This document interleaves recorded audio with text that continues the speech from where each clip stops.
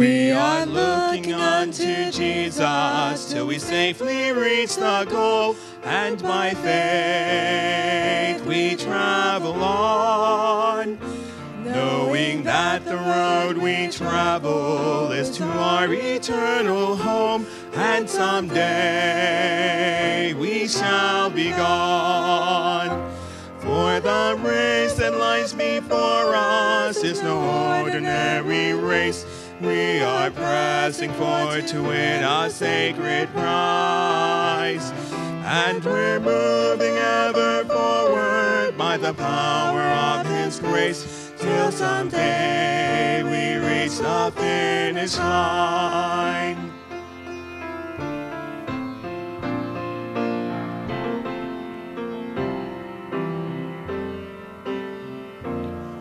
We are looking unto Jesus, for he knows the way we take. He will be our faithful guide.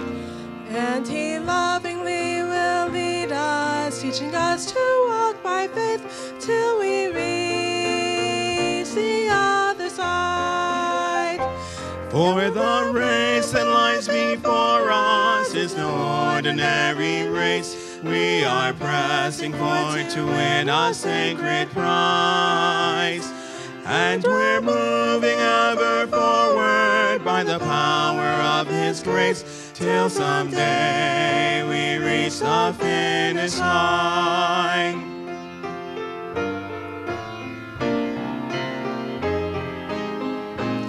Many saints have gone before us, all partakers of His grace. They have reached their home above. Resting at the feet of Jesus, they behold His blessed face, praising Him for His great love. There is one thing I'll remember when I find the end is near and my race is almost done. Though I was a wretched sinner, I'll have nothing left to fear, for my Savior is God's own Son. Yes, the race that lies before us is no ordinary race. We are pressing forward to win a sacred prize. And we're moving ever forward by the power of His grace till someday we reach the finish line. Till someday at last we reach the finish line. The finish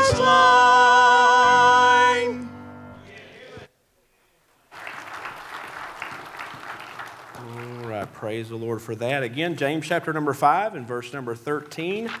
And we'll read that verse again just for uh, clarity's sake. Is any among you afflicted? Let him pray. Is any merry? Let him sing psalms. Uh, the definition of the word afflicted there means affected with continued or often repeated pain, either of body or mind. It means suffering grief or distress of any kind, such as sickness, calamity, adversity, or persecution. Uh, it means afflicted at the loss of a child or with losses or misfortunes. It means to be troubled or harassed. And every one of us have times in our life where we have stressful times, things that we go through, challenges, uh, obstacles that we must overcome.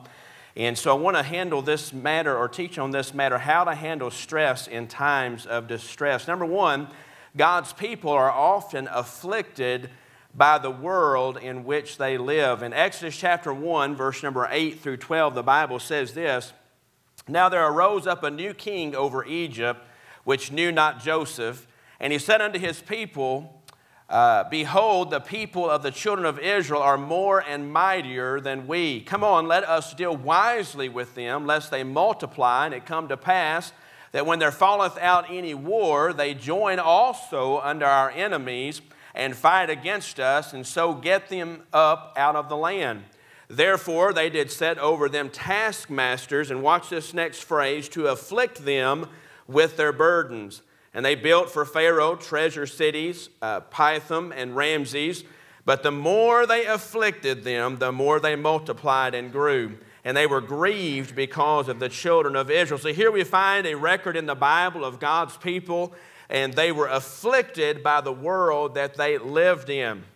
You can't hardly turn on the 10 o'clock news and not get stressed over our present uh, situation in our nations. We've heard much preaching uh, and teaching and comments made about the uh, the headlines uh, not too long ago of them uh, putting their stamp of approval on same sex marriage as well as uh, the transgender bathroom issue. And can I tell you, if you're not careful, if you don't keep your nose in the book and you don't keep your trust in the Lord and keep your reliance and confidence on Him, you and I will develop a doom and gloom attitude. The sky is falling, the world's coming to end. Can I tell you, the world may seem like it's coming to end, but God is still on the throne. God is still in charge. And yes, I know that the devil is the prince and power of the air. And yes, he's uh, given somewhat of control and uh, in, in this world. But can I tell you, we've read the end of the book, and guess what? We're on the winning side, and we can take it to the bank that God is, everything is okay in God's kingdom. Amen.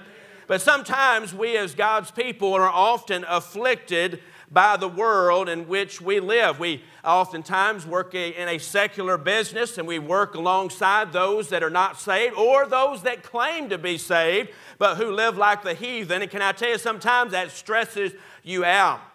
How do we handle that? We're going to deal with that tonight. Number two, not only does God's people are often afflicted by the world in which they live, but number two, God's people are sometimes afflicted by self inflicted wounds.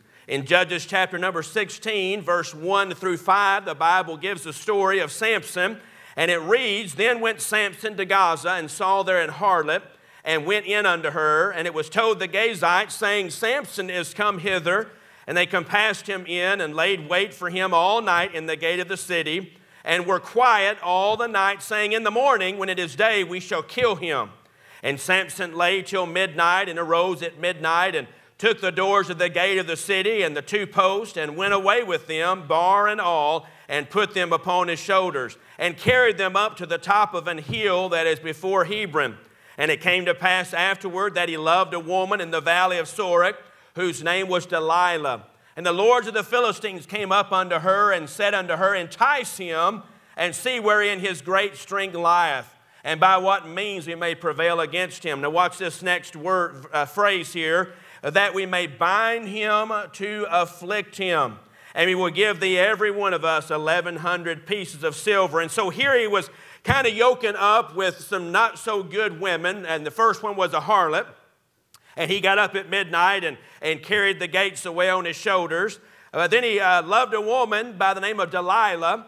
And uh, the Philistines uh, were there and came to her and conspired with her to be able to take Samson out. Uh, he was a thorn in their side, so to speak. And uh, he said, Listen, find out where his strength lies so we may prevail against him, so we may bind him and afflict him. In Judges chapter 16, later on in the chapter, in verse 16 through 22, we see the outcome of him playing footsies with this uh, not so good woman. It says in verse 16, And it came to pass when she pressed him daily with her words and urged him so that his soul was vexed unto death. That he told her all his heart and said unto her, There hath not come a razor upon mine head, for I have been a Nazarite unto God from my mother's womb. If I be shaven, then my strength will go from me, and I shall become weak and be like any other man. And when Delilah saw that he had told her all his heart, she sent and called for the lords of the Philistines, saying, Come up this once, for he has showed me all his heart. Then the lords of the Philistines came up unto her and brought money in their hand, and she made him sleep upon her knees. And she called for a man, and she caused him to shave off the seven locks of his head. And notice this next phrase she began to afflict him. and his strength went from him. Now, mind you, up to this point, they tried all sorts of things. They tried putting his hair in, in a weaver's beam. They tried to uh, tie him with uh, new rope, and they tried all sorts of things. And every time Delilah said, The Philistines be upon you. I mean, he was no uh, idiot. He was not ignorant to the fact that the Philistines were out to get him. But he thought he, he acted like it was just a game and it was just going to be any ordinary day and he could play with sin. And, and he was actually making a mockery out of it. And every time he was able to get out of it, and can I tell you, when you and I play around with temptation, we play around with sin, and we have that uh, apathetic, lethargic attitude towards spirituality, and we think that we could just go through the uh, motions of Christianity and uh, play around with sin and, and uh, have one foot on either side of the fence, and we think that we'll just be fine. We can just keep doing it, keep playing the game, and uh, we'll be all right. After all, nothing's happened thus far. But we find here in the verse number 20, notice it, in verse number 19, he says, She began to afflict him, and his strength went from him. And she said, The Philistines be upon thee, Samson. And he awoke out of his sleep. See, when you're playing footsies with the devil and playing footsies with temptation, can I tell you, the devil's got you to sleep. Amen. And you look like, listen, you look like you're okay and you look like you got it together. But can I tell you the facade that we put on at church when we're playing footsies with the devil uh, behind the scenes, can I tell you, will only last for a little while. And so here she is. Uh, he awoke out, or here he is. He awoke out of his sleep and said, I will go out as at other times before and shake myself. Now, watch this. He wist not that the Lord was departed from him. But the Philistines took him and put out his eyes and brought him down to Gaza and bound him with fetters of brass, and he did grind in the prison house. Notice that, that the Spirit of the Lord departed from him. Eventually, that you know, the Lord's got a, a, line, and eventually, listen, I know, thank God, God is long suffering. Thank God that He's patient. Thank God for His grace that He gives us more than what we deserve. Thank God for His mercy that He doesn't uh, drop the hammer on our head every time that we did something wrong. Thank God for that. But eventually, His patience will run out. The Bible says that He even gave Jezebel a space of time to repent. I mean, he wants everybody to be saved. He wants everybody uh, to have an opportunity to get right. But eventually, eventually we keep going in that direction, then guess what? We bring some unnecessary affliction in our life. I love verse number 22. It says, Howbeit, the hair of his head began to grow again after he was shaven. And we know later on, the story goes that they brought him out to make sport. And he had a little servant boy, and he said, Listen, place my hands on the pillars. And we know that the Bible says that he uh, killed more Philistines in his death than he did in his life. And thank God that God was able to use him again. But can I tell you, that was a self inflicted wound. That was something that should not have happened, but he continued to hang around with the wrong crowd. That was something that should not have happened, but he kept playing with his flesh and kept playing with that besetting sin until finally it got the best of him. Now, can I tell you, God doesn't want you to go into deep sin. He wants you to keep yourself clean and pure, but if you do, thank God that there, God gives a second chance. I love the story of Peter, how he followed afar off and we give him a bad flack, but there wasn't nobody else following that close. And he was warming his hands at the fire, but nobody else was there warming their hands. I know he was around the wrong crowd. Well, we give him a bad flack and we give him a bad name and give him a hard time. And we know that he denied the Lord three times. We know that. And as soon as he did that, his and the Lord's eyes locked, and uh, that he realized, he remembered the words of the Lord, and he went out and wept bitterly to the point that he was discouraged. He threw his hands up and, and quit on the ministry. He said, I can't believe that I betrayed the Son of God that way. And the Bible says he even went back to fishing. He went back to a secular job. He gave up on the ministry. But can I remind you that when Jesus rose again, he, he appeared to a lot of his disciples. He said, he, he told them, he said, Go tell my disciples that I go to such and such a place, and Peter. Now, wait a minute, Peter was a disciple. How come he didn't just say, go tell the disciple? How come he uh, uh, uh, keyed in on Peter? Because he knew Peter uh, was weeping and he knew Peter was upset. He knew Peter was distressed and discouraged over what he'd done, and he felt like that God couldn't ever forgive him and that God couldn't uh, use him. And thank God he said, and Peter. And so he went and he appeared to him, and we know the story how several, uh, many days later, that God used Peter to preach on the day of Pentecost. Listen, you be careful about counting somebody out. Amen. You be careful about writing somebody off. It just may mean that, that yes, that's what the Bible says, uh, brethren, if a man be overtaken in fault, ye which are spiritual, restore such an one in the spirit of meekness, considering thyself, lest thou also be tempted. But now we got an idea of spirituality. We got to walk around with our nose stuck up in there, and if it rained, we drown.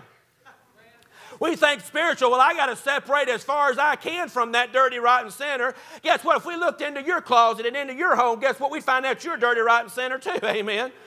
Why? Because we're nothing but a bunch of saved sinners. That's all God has to work with. So you be very careful about walking around like a Pharisee and uh, walking around. You, you got to walk down, you got to talk down. You, you listen, you carry your King James Bible and somebody blows it and you want to write them off. You want to push them over in a corner. You want to put them on a shelf. You be careful about putting somebody on a shelf that God ain't put on a shelf. You be careful about giving up on somebody God hadn't given up on. You be careful about disassociating with somebody that God hadn't disassociated with because after all, God may want to use them.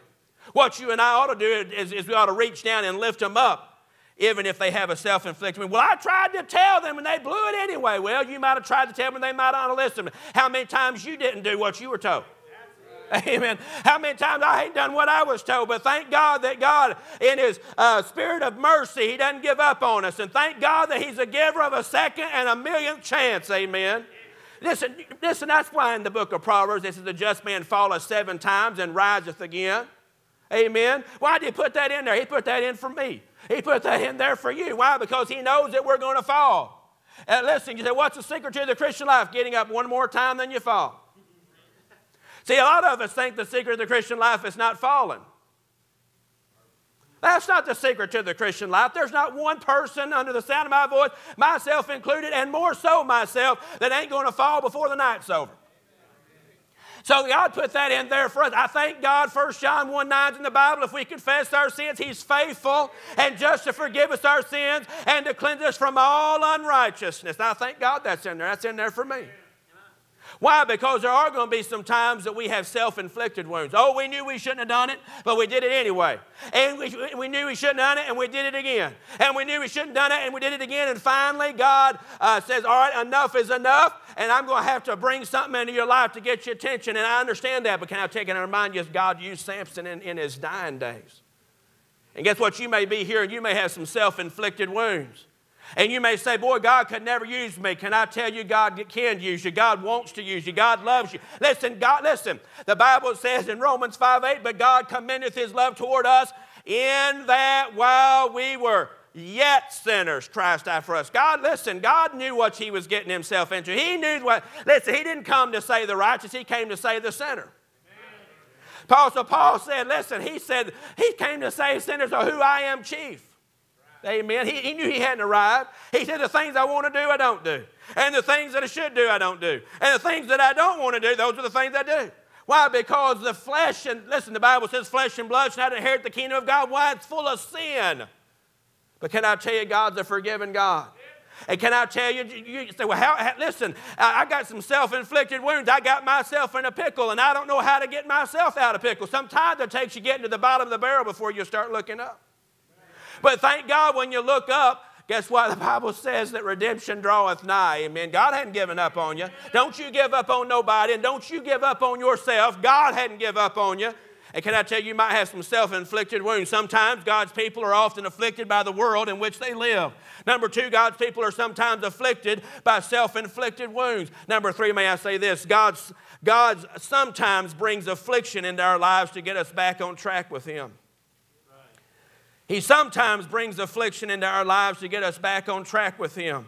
Lamentations chapter 3, verse 31 through 33, the Bible says, For the Lord will not cast off forever, but though He cause grief, yet will He have compassion according to the multitude of His mercies. Watch this next phrase, for He doth not afflict willingly. See, God, listen, don't have this attitude of God that God's just looking for you to mess up.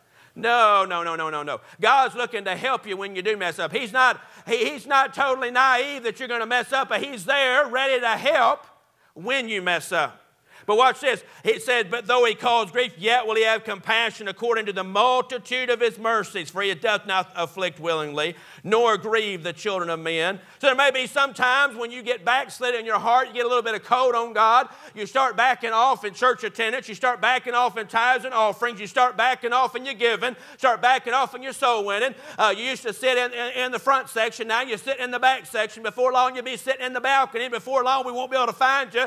Can I tell you, when you get cold hearted on God and backslid, sometimes God will send affliction into your life to get you back on track.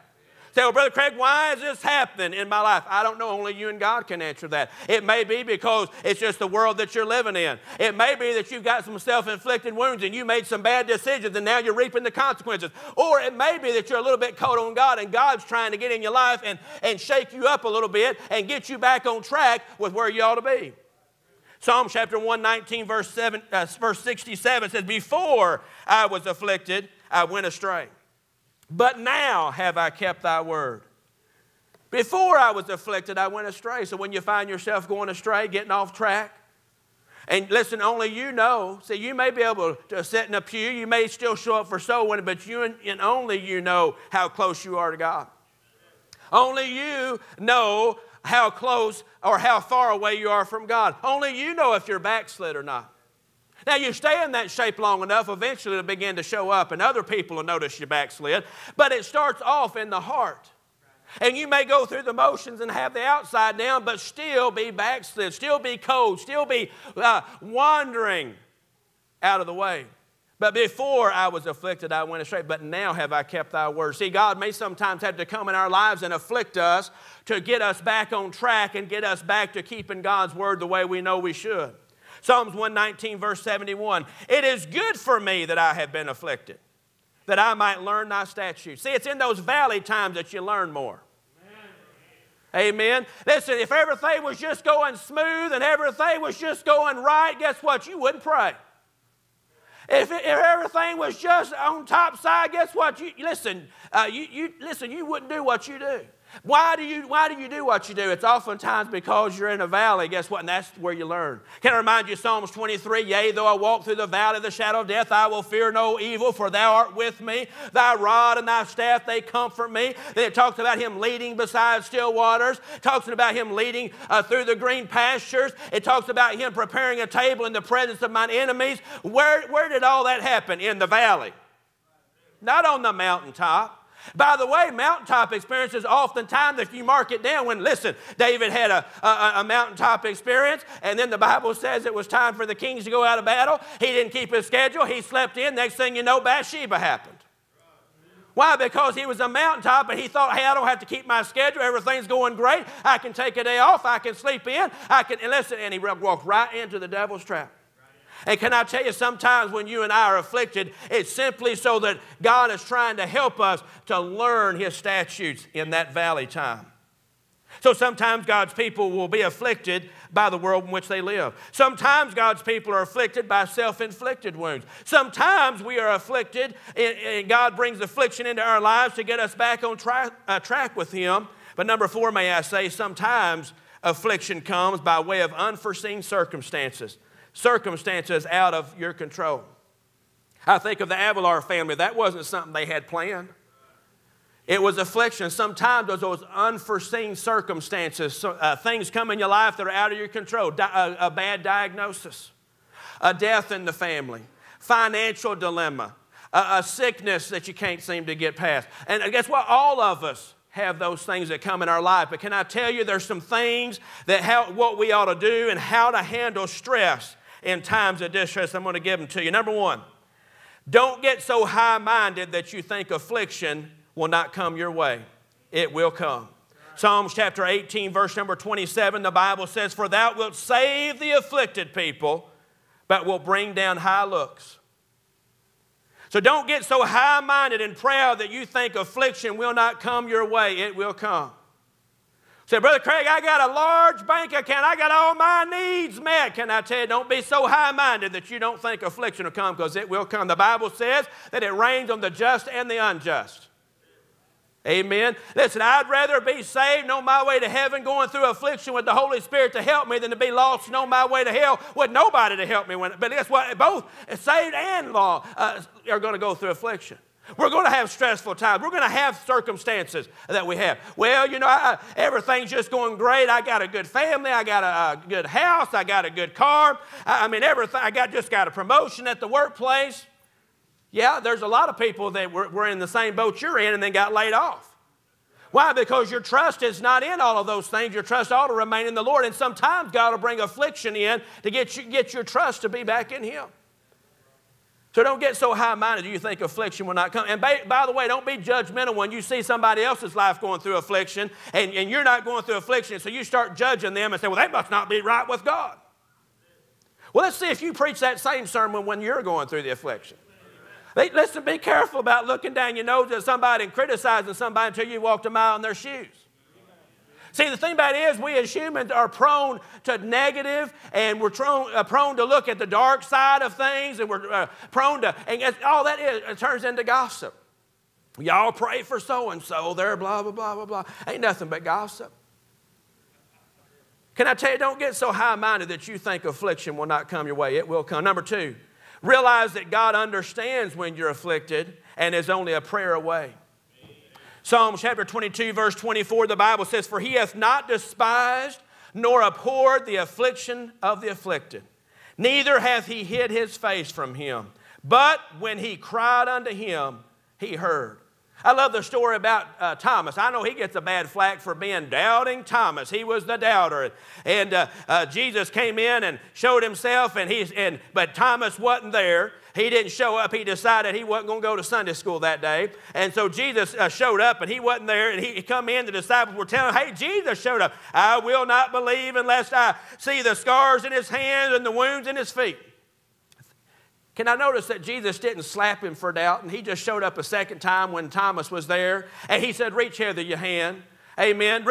See the, the, the, wounds in my hands and my feet. Can I tell you, sometimes we're going to go through times of doubt. But guess what? Jesus don't slap us. He, listen, He doesn't criticize us. He doesn't get bad on us. He doesn't knock us over the head. Guess what? He makes sure that He continues to uh, show Himself real in our life until we do believe. But can I remind you, the Bible says, blessed are those that believe and don't see than those that have to see. Amen. That's where faith comes in. The Bible says, the just shall live by faith. But realize that God understands when you're afflicted and is only a prayer away. So get, instead of getting on the telephone and talking to Sister so and so, why don't you uh, uh, call 1 800 Heaven and get a hold of God? Amen. Listen, there won't be ever be a busy signal. You can't ever call too late. And it ain't going to be push one for this, push two for that. And you, will be able to talk to a real person. Amen. Amen. And ain't going to be no jazzed up rock music while you wait either. Realize God understands when you're afflicted. Well, nobody knows what I'm going through. God knows.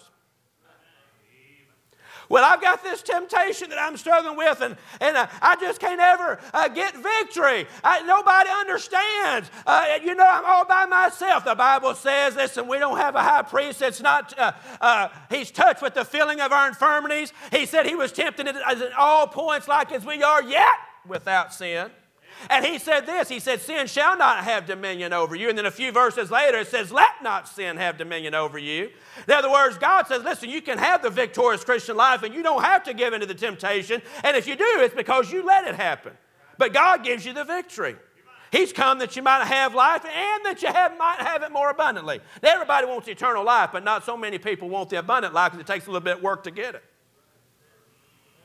Can I tell you that God understands when you're afflicted, but He's only a prayer away. So instead of calling brother so and so and, and well, I got to get me a Christian counselor, got a PhD from a secular university and wouldn't know God if it flew in on a that and landed on his nose.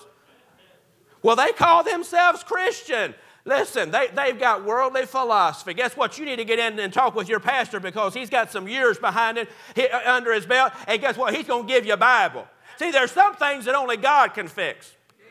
Amen. We don't need human reasoning and we don't need some man's opinion. Listen, we just need to go to the good book and find out what God says because God not only has the answer, but He is the answer.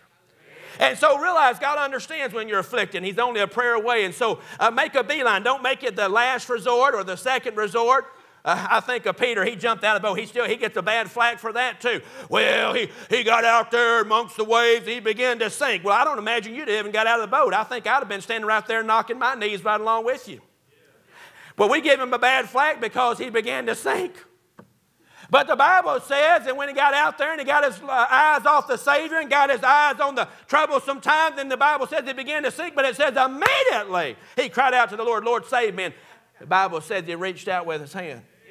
Why is it that we get in trouble sometimes and we get our eyes off the Lord and we get our eyes on the waves and the wind's boisterous and it takes us going down for the third time? Blah, blah, blah, blah, one. Blah, blah, blah, blah, blah, two. And we're going down for the third time, and then finally we cry out to the Lord for his help. Well, I don't want nobody to uh, think bad of me because I'm going through a tough time. Guess what? Everybody knows you're going through a tough time. Jesus knows you're going through a tough time. Why not just cry out to him and get help before you're going on for the third time?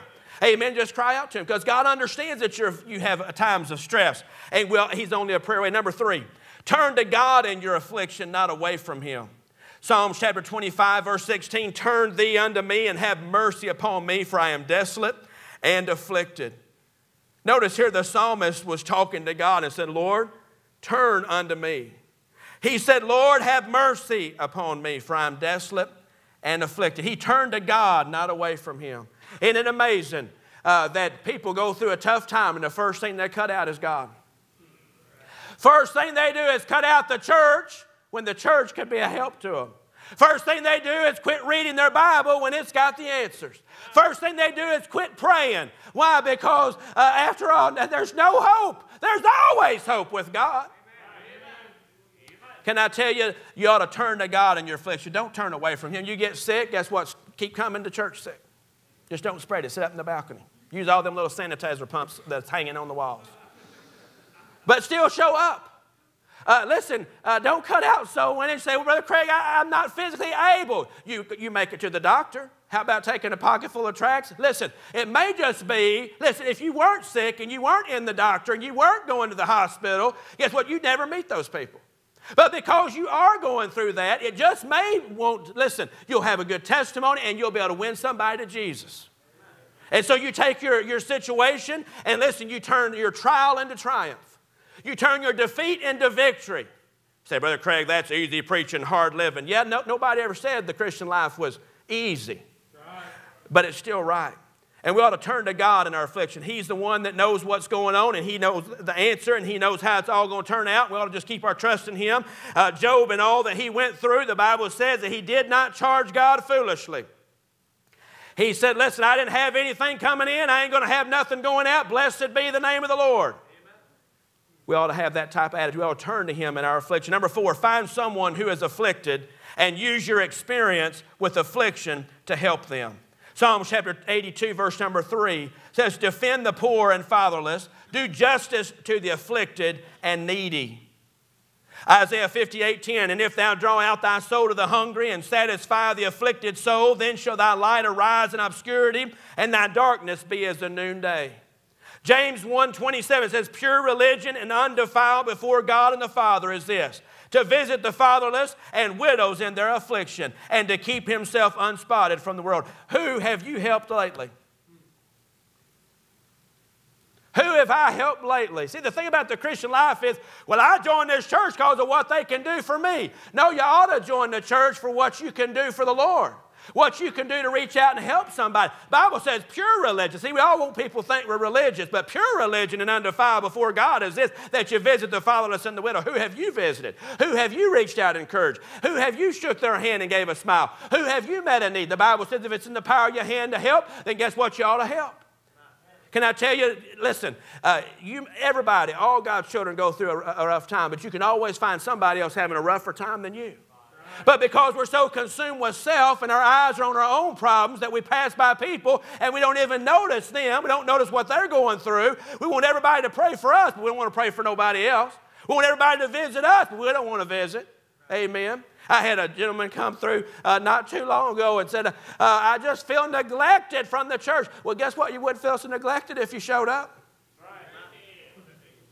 See, the fact is, is when we get consumed with self and we start backing out of the church, we're staying away from the very place that we would be a whole lot better off if we just stuck in there while we're going through a stressful time. So find somebody who's afflicted and use your experience with affliction to help them. Number five, confess and forsake sin in your life. Psalm chapter 107, verse 17 says, Fools, because of their transgression and because of their iniquities, are afflicted. Sometimes affliction comes because you got unconfessed sin. By the way, the Bible says if you harbor that sin in your, in your heart, the Bible says that He will not hear us. Uh, Psalms 25, verse number 18 Look upon mine affliction and my pain and forgive all my sins. The psalmist said, Listen, I want to make sure that I'm thoroughly right with God. Listen, if you're going through a stressful time, the very first thing you ought to ask, Am I right with God? And then guess what? You can get right with God just by confessing those sins and asking the Lord to help you uh, not to do them again. And then after you've uh, established that, okay, now I'm right with God, and then try to learn the lesson through that stressful time that you're going through uh, by confessing and forsaking your sin uh, first. Uh, number six, stay in God's word. Psalms 119, verse 107 says, I am afflicted very much. Quicken me, O Lord, according unto thy word. He said, I'm afflicted. He said, but I need to be quickened. I need to be made alive. I need to be inspired. I need to be motivated. The word of God can do that. And he says, Oh Lord, according unto thy word. Stay in God's word. Well, I don't feel like reading God's word. Read it anyway. I remember when I was uh, getting ready to uh, be a freshman in high school, and my granddaddy, it was, we had freshman orientation. I believe it was on a Monday night, and uh, we'd gone up to see my uh, granddaddy, and he was on his deathbed. And I, I remember uh, sitting there in the little waiting room, and they, I don't know if they still do it, but they had those Gideon Bibles. And as a teenage young man, I grabbed that Gideon's Bible, and I began to read the book of Psalms, and, and God brought peace to my heart about my granddaddy fixing to go home to be with the Lord. And, and then we went on and, and went to the freshman orientation. And when we got out, we were getting out, and, and uh, our friend came and he rushed us up there and he just passed away.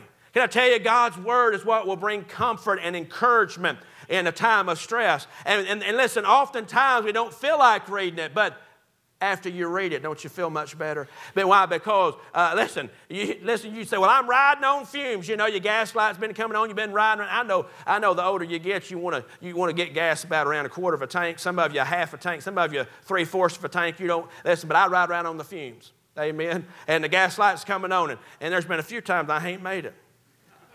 But you know what? That's how we are spiritually, amen. The signs are there. We're riding around on fume. We're just barely making. All the warning lights are there, uh, but we're pushing. And we push it. Can, can, I tell you, we ought not push. We ought to get into the filling station called the Word of God and get filled up again. So we ought to stay in God's Word. Number seven, how to handle stress in times of distress. Number seven, keep a right spirit or attitude. Proverbs 15 15 says, All the days of the afflicted are evil but he that is of a merry heart hath a continual feast. You know how to keep going and how to handle stress in times of distress is keep your spirit right. Bible says, keep thy heart with all diligence, for out of it are the issues of life. So when you're going through some issues, then guess what? You ought to walk guard around your heart and you ought to make sure that your spirit is right. Don't point out the negative. Don't dwell on the negative. Bible says, a merry heart doeth good like a medicine. Amen. He is the great physician. And can I tell you, some folks that go through the same trials that you're going through, guess what? If they have a right spirit, sometimes they fare better than the person that does not have a right spirit. So you keep your spirit right. Number eight, keep yourself clean. Folks need you at your best. Keep yourself clean. Folks need you at your best. Proverbs 31, verse 4 through 5 says, It is not for kings, O Lemuel, it is not for kings to drink wine, nor for princes strong drink lest they drink and forget the law and pervert the judgment of any of the afflicted. See, you and I as leaders, guess what? We got to keep ourselves clean. Oh, there's be stressful times, there'll be heartaches, but don't go into your Sunday school class and tell them about it. Don't, don't, don't get on the bus route and, and talk about it. Take those burdens to the Lord. Guess what? We as leaders, we've got to listen. You're a husband or you're a daddy. Guess what? Don't bring all your burdens and dump it on your wife and your kids. Now that's, that's, hard, that's easy preaching and hard living too, because sometimes your wife may be the only one you can talk to, but we ought to be taking them to the Lord. Can I tell you, we ought to keep ourselves clean. Somebody needs you. You ever gone to a restaurant and you sit down and boy, you're getting ready to eat a nice steak, you know, and you look down and some woman's hair is right there on your plate. Oh, I know what you do. You just, you know, move it aside and look around hoping nobody saw, and you go ahead and dig in, don't you? Sit down to the glass there, getting ready to sip on some old fashioned sweet tea. I mean, I love sweet tea. And you look across there and you lift the glass, to, and, and as you're taking a sip, you see the last lady, she had bright red lipstick, and it's on the other corner. The, I know what you do. You get a napkin and wipe it off and keep on drinking, don't you? No, you send it back and say, Give me, listen. And, and, and listen, some of you would get so upset about that you might leave. And some of you might get so upset that you want your meal free or you want something, you want a, the next meal free. But yet, spiritually speaking, we do that, don't we? We have a dirty life and we expect people, well, well, I know I lost my temper, but that's just the way I am. Listen, nobody wants to drink out of your dirty glass, sir. Nobody wants to, uh, no, nobody wants to hang around and, and, and, and uh, take what little bit of good I might give them just because I'm, and, and put up with my hateful ways. We ought to clean up. Why? Because we need God needs us at our best. Other people need us at our best.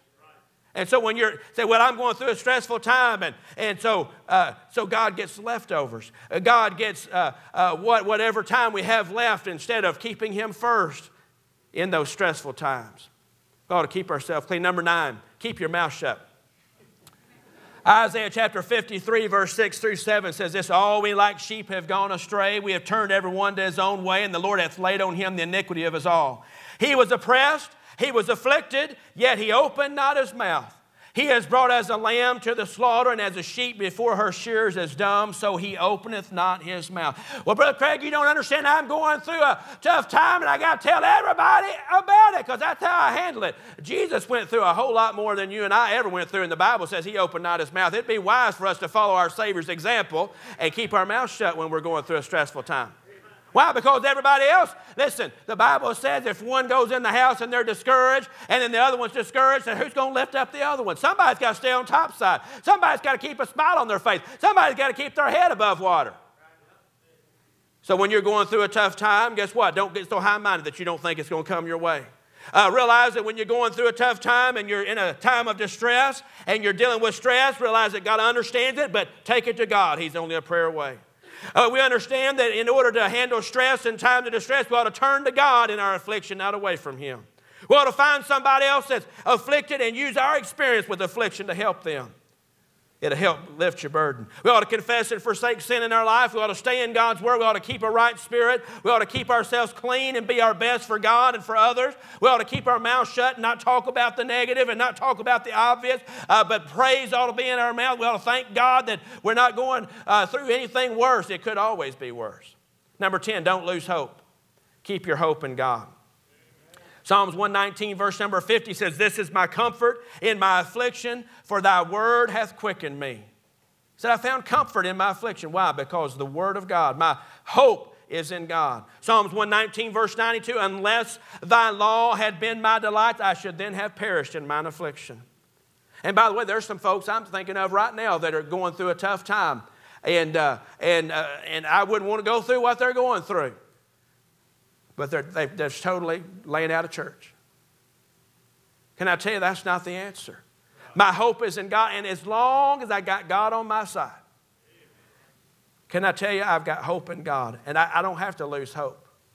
Don't lose hope. I was dealing with a lady the other day, and boy, she was laying it all on the line, having a tough time, and, and I was trying to figure out if the lady was even saved. And she says, You don't even know me. No, I'm trying to get to know you, and I'm trying to help you. And, uh, but uh, she said, Well, I'm through with it. I'm through living the Christian life. And she didn't come last Sunday. Can I tell you, she's lost hope. There's always hope in God. Don't lose hope when you're going through a stressful time. Why? Because God uh, can get you out of the hole that, that you found yourself in. Last thing is this stay or stick with God in His way. Hebrews 11 25, talking about Moses, he says, choosing rather to suffer affliction with the people of God than to enjoy the pleasures of sin for a season. See what you find when sometimes when people are in a, in a moment of distress and they're going through a tough time and, and uh, maybe they even have a tough time listening to, to Bible doctrine because, after all, they've never heard it preached exactly like that. They've never seen it exactly like that. And so, what they do is, is they don't handle the stress of that. Instead of sticking, sticking by God and, and sticking by God's way, they go find a liberal church and cease to grow and then actually get worse than what they were when they came. Can I tell you, not a, listen, this is a perfect book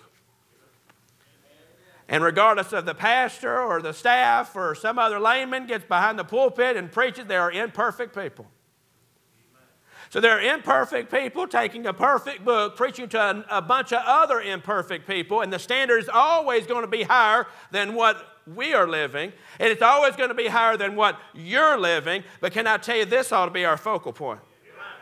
You say, listen, we've, we've heard, well, if God says it, uh, uh, that settles it. You're exactly right. Some people say, well, if God says it, I believe it. And it doesn't matter if you believe it or not. Listen, God didn't, didn't call us up and say, well, what do you think about that, Brother Craig? He didn't do that. Listen, we get, listen, this book is perfect. It'll be our measuring stick. And guess what? When you're going through times of stress, and all of us do, and when we're going and we're stressed out and we want to throw in the towel and our flesh wants to take us out of church and take us away from godly living, can I tell you, I just gave you 11 things that you and I ought to do. And can I tell you, that will get you through to the other side. Let me ask you a question Has anybody ever gone through a stressful time? Raise your hand. All right. All right, those of us that just raised our hand, we've gone through a stressful time. How many stuck it out and you got on the other side and things got better? How many has ever seen other people go through a stressful time and they didn't stick it out and things got worse? Listen, that right there ought to encourage you to stay put. Amen. Because joy does come in the morning. Amen. Looked pretty gloomy uh, when Jesus was crucified, but three days later he got up. Amen. And you may go through a stressful time and you may be down and out. Everybody else may think you're down and out, but you may be knocked down, but you're not knocked out. Amen. And can I tell you, Jesus is always standing there ready and willing to pick you up if you'll just stay put. How to handle stress in times of distress. Heads are bowed, eyes are closed.